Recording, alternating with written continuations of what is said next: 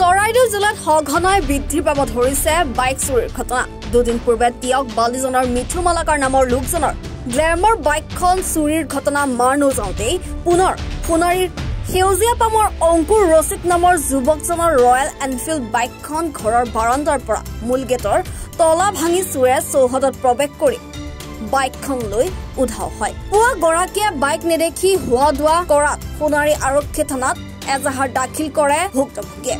ইপিনে বাইকখন উদ্ধাৰ কৰিবলৈ সক্ষম হোৱা নাই বৰ্তমানলৈ আৰক্ষী। যোৱা নিশা মই বিশ্বকৰ্মা পূজা চাই আহি ৰাতি প্ৰায় চাৰে দহটামান বজাত বাইকখন ইয়াত ৰাখোঁ আৰু হেণ্ডেল চেণ্ডেল লগ কৰিয়ে থওঁ সদায় দিনৰ নিচিনা। তাৰপিছত ৰাতি শুই থাকোঁ। ৰাতিপুৱা ঘৰত নে পোৱালীক স্কুল ল'বলৈ থ'বলৈ ওলাই আহোঁতে দেখোঁ যে বাইকখন নাই। তাৰপিছত লগে লগে চাওঁ যে গেটৰ তলাও ভঙা। তো এতিয়া বাইকখনতো মোৰ চুৰ হৈ গ'ল। থানাত কিবা এজাহাৰ দিছে? থানাত এতিয়া যাম এজাহাৰ দিবলৈ।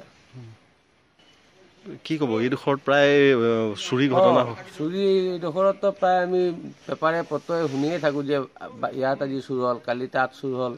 কিন্তু আমাৰ পুলিচ প্ৰশাসনেতো চুৰবিলাক ধৰিব পৰা নাই। নিশা পেট্ৰলিঙৰ অভাৱ বুলি ভাবে নি? নিশা পেট্ৰলিং অভাৱ হয় সেইকাৰণেই চুৰবিলাক হৈছে। আমিতো প্ৰায় মানে শুনিয়ে থাকোঁ যে বাইক চুৰ হৈছে কিন্তু চুৰ ধৰিছে বুলিতো শুন- শুনিয়ে নাপাওঁ। চৰাইদেউৰ পৰা পৰিস্মিতা ফুকনৰ ৰিপৰ্ট এনি ভাৰত টুৱেণ্টি ফ'ৰ। নমস্কাৰ মই অজয় ফুকন আৰু এইখিনিতে সমূহ এনি ভাৰত চেনেলটোৰ যিসকল কৰ্মকৰ্তা আছে সকলোৰে মোৰ ফালৰ পৰা শুভেচ্ছা জ্ঞাপন কৰিছোঁ।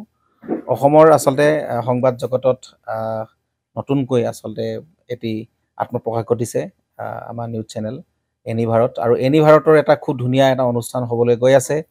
সকলোৱে জানে আমাৰ সকলোৰে মৰমৰ হাৰ্টথ্ৰব জুবিন গাৰ্গৰ গানে কি আনে। আচলতে জুবিন দাৰ সেই গীতৰ আধাৰত আমাৰ হিৰুদাই লিখা সেই গীতটি গানে কি আনে। এই গানে কি আনে নামৰ এটি তেওঁলোকে সংগ- সাংগীতিক ৰিয়েলিটি শ্ব' কৰিবলৈ গৈ আছে। আৰু ফিফটিন আগষ্টৰ পৰা গোটেই আৰম্ভ হ'ব।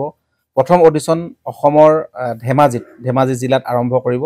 গতিকে সমূহ যিসকল প্ৰতিভা আছে যিসকলে গান ভাল পায় যিসকলে তেওঁলোকৰ নিজৰ প্ৰতিভা আচলতে দেখুৱাব বিচাৰে। এই ৰিয়েলিটি শ্ব'ত গানে কি আনে এই প্ৰতিযোগিতাত অংশগ্ৰহণ কৰক আৰু খুব ধুনীয়া আপোনালোকে সুবৰ্ণ সুযোগ লাভ কৰিব। লগতে ইয়াতে পুৰস্কাৰ আছেই বিভিন্ন ধৰণৰ উপহাৰো আপোনালোকে লাভ কৰিব। আৰু লগতে এগৰাকী প্ৰতিষ্ঠিত আচলতে এগৰাকী শিল্পী হিচাপে অসমৰ সাংস্কৃতিক জগতত আপোনালোক প্ৰতিষ্ঠা লাভ কৰিব। গতিকে গোটেই অনুষ্ঠানটোলৈ মোৰ ফালৰ পৰা শুভকামনা থাকিল। আৰু লগতে এই অনুষ্ঠানটোত আপোনালোকে অংশগ্ৰহণ কৰিব। আমিও আছোঁ আৰু সকলোকে আমি লগ পাম। ধন্যবাদ।